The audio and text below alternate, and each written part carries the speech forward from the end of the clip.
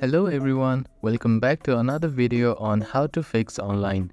In today's video, I am going to show you how to fix login problems with Axis Bank. If you are having trouble logging in into your Axis Bank account, here are some fixes you can try. The first thing to do is to check that you have a stable internet connection, either through Wi-Fi or cellular data. Then try logging in again. Also make sure that you are typing your information correctly. The second step is to clear your browser cache and cookies. Sometimes stored data in your browser can cause login issues. To do this, open your browser and click on the three dots at the bottom right corner. Then find the History button. After clicking on the History button, you can find the Clear Browsing Data. Click on it.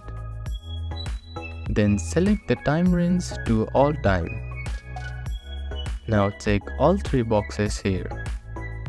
Now click on Clear Browsing Data and confirm it once again.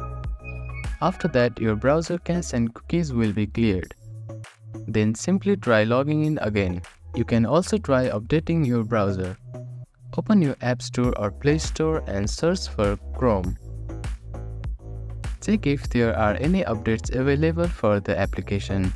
You will see an update button if there is available updates. Tap on it to download the latest version of Chrome application. If the issue still persists, try accessing the login page using a different web browser or device.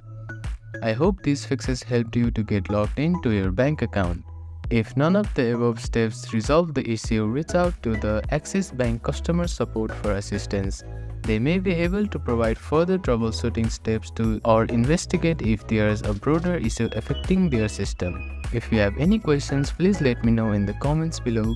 Do not forget to like and subscribe for more helpful tips and tutorials. Thank you for watching.